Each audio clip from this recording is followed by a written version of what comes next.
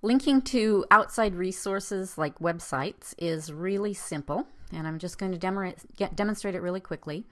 I would like to add a resource, and I'm going to choose link to a file or website. And that will bring up my window here. So I'm going to link to a video on a website uh, called Her Morning Elegance.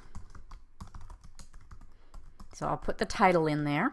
Now I'm going to go get my web address. So I've got it open here. It's in YouTube and I can just copy the address from the top for any website I want to link to. In YouTube you could also copy the URL down below here. I'll go back into Moodle and I'm just going to put the web address down here where it says location. So I'll just highlight that and paste my address.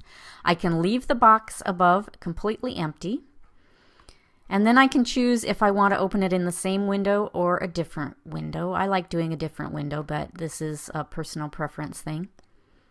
And then I'm going to go down to the bottom, say save and return to course.